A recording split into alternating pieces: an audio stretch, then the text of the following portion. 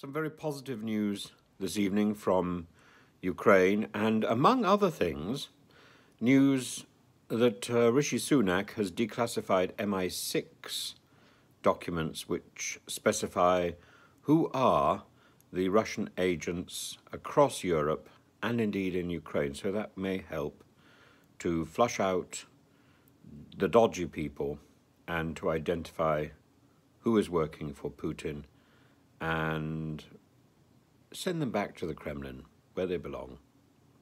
This, I think, is the right thing to do.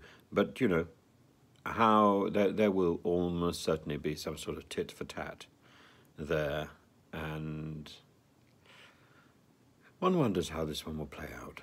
But so far, there doesn't seem to be very much talk about this in the Western newspapers. So we wait to see.